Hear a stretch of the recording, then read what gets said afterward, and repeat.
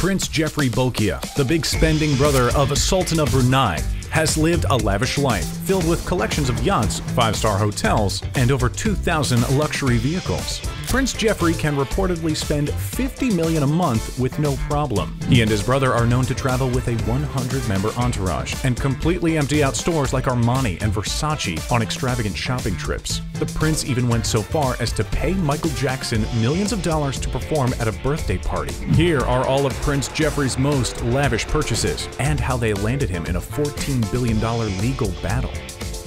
With tons of money to throw around, the Prince of Brunei has built a reputation for being extremely extravagant. He's part of one of the richest royal families in the world, after all. The Crown of Brunei has an estimated net worth of between 30 and 40 billion dollars. And while most of the responsibility and fortune goes straight to the Sultan, Prince Jefri has had no problem using his family's riches to live the good life. When it comes to lavish places to stay when the prince travels the world, it isn't enough to just rent a nice room in a hotel. Instead, the prince bought himself five of them. Prince Jefri's collection of five-star hotels is definitely impressive and gives him no shortage of options when it comes to suites. His collection includes the historic Dorchester in London, the romantic and opulent Hotel Plaza Athénée in Paris, and the incredibly expensive New York Palace, which has a $25,000 a night jewel suite, by the way.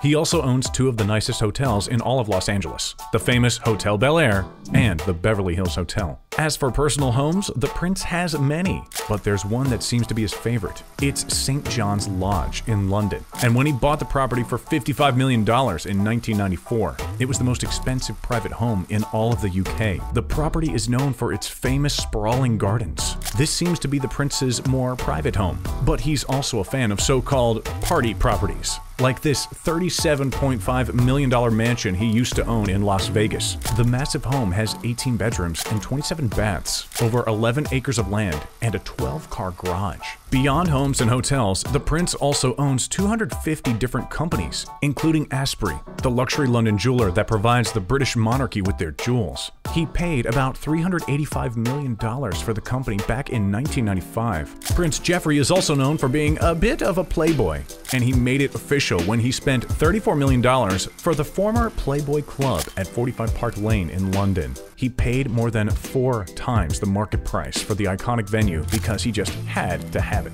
In 1965, the Playboy Club was the most successful casino in the world, and now it's one of London's most luxurious hotels. If you think the amount the prince is willing to pay for a club is a bit excessive, then just wait until you hear about his car collection. It's not just worth millions, it's worth billions and it's made up of over 2,300 vehicles. The collection includes multiple Bentleys, Ferraris, and Rolls-Royces. Some of the most famous and expensive cars in his collection include the Bugatti EB110, valued at $1 million, a Mercedes-Benz CLK GTR Roadster in dark silver, worth an estimated $5 million, a Porsche 550 Spyder that sold for a record-setting $6.1 million, and two jet black McLaren F1s, which can sell today for as much as $14.5 million each. But despite their worth, the prince apparently leaves these cars to rot in he and his brother's gigantic car lot. According to one collector who got to see inside the garage, billions of dollars worth of luxury cars are kept in sweltering heat, and some seem to have been forgotten about entirely.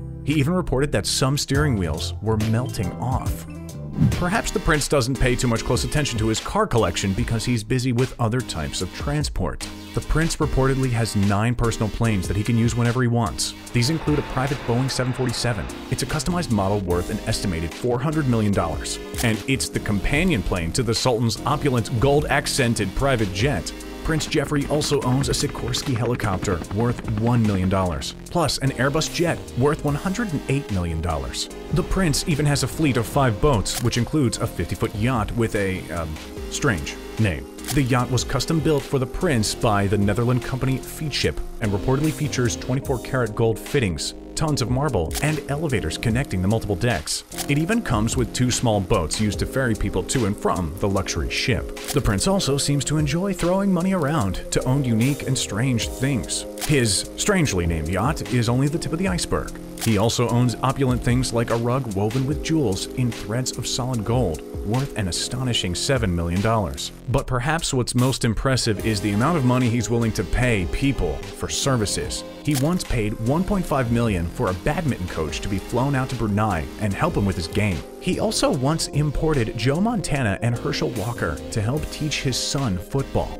Taking advantage of their professional skills reportedly cost the prince seven figures each. But the most extravagant? Prince Jefri once paid $17 million for Michael Jackson to perform at his brother's 50th birthday party. It took place at a stadium custom built for the event at the Azure Palace residence, which features 1,788 rooms and covers about 49 acres. But obviously, it was Michael Jackson who was the star of the whole event. So, how did Prince Jefri get so rich that he could hire the one and only Michael Jackson for a birthday party?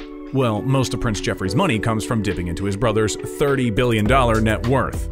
But the prince also has done some of his own work. He served as the chairman of the Brunei Investment Agency, which invests much of the country's wealth and is responsible for overseas investments. His biggest investments while with the agency include the Empire Hotel, built at a cost of 1.1 billion, and the Jerudong Park, the largest and most expensive amusement park in Southeast Asia, for $1 billion. The prince also served as the agency's finance minister from the mid-1980s to the mid-1990s, but that's when things started to go downhill.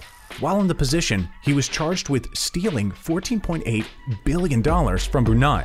The prince hoped to pin the crimes on his two lawyers by claiming he never signed his own checks and that others were in charge of his finances. Instead, he ended up being sued by them for 23 million bucks. Following negotiations, an undisclosed settlement was reached in 2000. Though Prince Jefri claimed that the Sultan assured him he could keep a few of his properties to maintain his lifestyle. But he didn't get to keep that much. In 2000, the prince returned more than 500 properties, 2,000 cars, 100 paintings, 5 boats, and 9 aircrafts to Brunei, and much of his property was auctioned off. At one point, he was even forced to surrender five diamonds, worth $200 million, to the Brunei Investment Agency. So, the Playboy Prince may not be quite as well off as he was before, but he hasn't been kicked out of the royal family, so he still has access to billions. Now, he's kept more of a low profile since the government fallout, but it's probably not the end of Prince Jefri's lavish lifestyle. Being a prince comes with the need to look royal and dignified. So we'll leave you with one last extravagant fact. Prince Jefri and the Sultan reportedly spend, get this, $20,000 each on a single haircut. Oh, you heard that right. They fly from Brunei to London to see their favorite barber at a cost of $12,000 per flight. Wow. Thanks for watching. If you enjoyed this video on the extravagant lifestyle of Prince Jefri, don't forget to hit that like button. It helps us out here so much.